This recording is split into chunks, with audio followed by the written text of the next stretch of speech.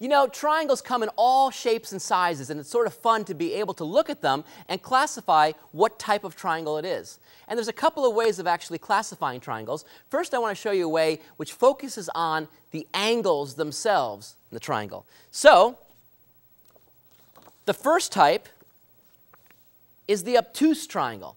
These are kind of the, the big ones where you have an angle that actually is going to be greater than 90 degrees. When you've got that, that's an obtuse triangle.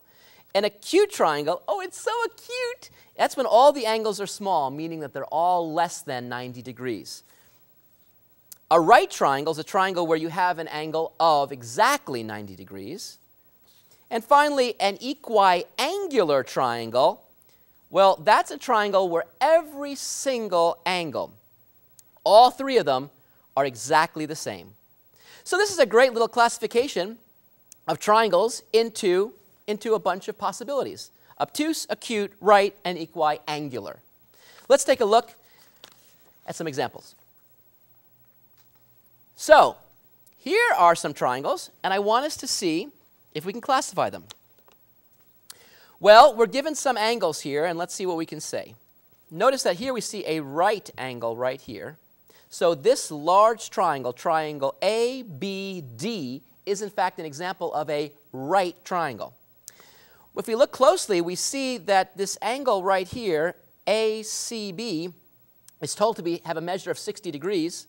And also angle ABC has a measure of 60 degrees.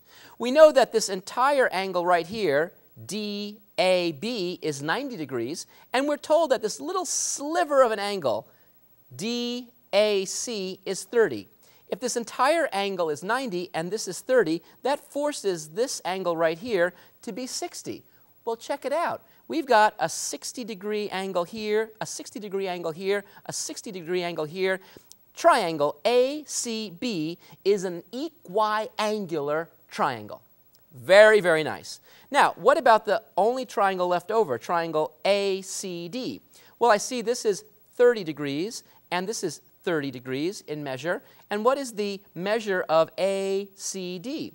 Well, notice that this angle right here and this angle right here are supplementary angles. So I know that the sum of the total angle of both of those together is 180. This is 60. If I subtract 180 minus 60, I see 120 degrees. That's bigger than 90. This is an obtuse triangle. Look how we can classify triangles by looking at their angles.